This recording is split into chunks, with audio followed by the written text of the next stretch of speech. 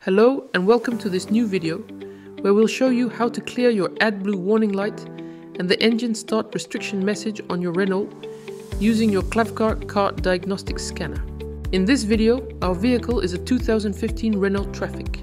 The AdBlue warning light comes on the dashboard, along with a message saying the engine will be blocked in zero miles. I decided to fill up at an AdBlue service station pump. However, the warning light and the message remain on, so I'm going to use my car diagnostic scanner. To do this, we first need to locate the car's OBD2 port. It's located behind the panel under the steering wheel on the left hand side. Plug in your Klavkarr scanner. Start by turning on the ignition, connecting to EOBD Facile. Launch the application. Tap Connection, then select your Klavkarr device to connect via Bluetooth. Enter your vehicle's make Renault. Then the model, 2015 Trafic 3. Make sure the ignition is on and press It's done. How to clear the AdBlue warning light.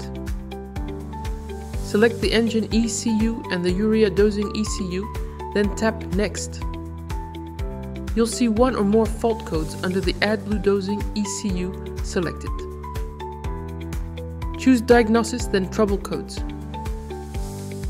You'll now see the fault codes related to the AdBlue warning light and their meaning.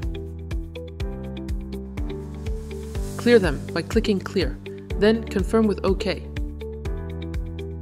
If you press Yes and then Save, you can store this diagnostic session in your history. If you don't want to, press No.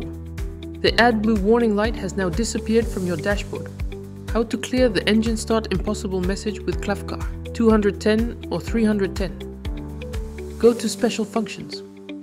Scroll through the list and select AdBlue Dosing Module Catalyst. Then click Execute. Make sure the ignition is on, then press OK. Once the operation is complete, tap OK. To make sure the reset is correctly applied by the vehicle's ECUs, turn off the ignition and wait a few minutes before restarting your car. Don't forget to like and share this video and follow us on social media. See you soon.